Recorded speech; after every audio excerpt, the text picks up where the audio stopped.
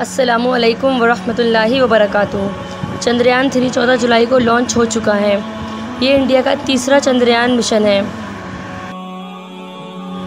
इन भारत कुछ घंटों में दुनिया में इतिहास रचने वाला है। भारत का चंद्रयान थ्री चाँद के बेहद करीब पहुँच चुका है।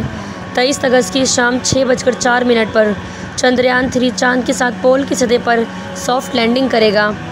अब तक दुनिया का कोई भी देश चाँद के साथ पोल पर नहीं उतरा। इसरो के साइंटिस्ट का दावा है कि कुछ भी हो जाए, लैंडिंग होकर रहेगी। अल्लाह सुबहाना व से दुआ है कि अल्लाह इस मिशन को कामयाब करें। आमीन। चंद्रयान थ्री की कामयाबी के लिए पूरे देश में दुआएँ की जा रही हैं। मुसलमानों ने सजदा किया और मिलकर दुआएँ भी की। अल्लाह इनकी और हमारी दुआओं को कबूल फरमाए।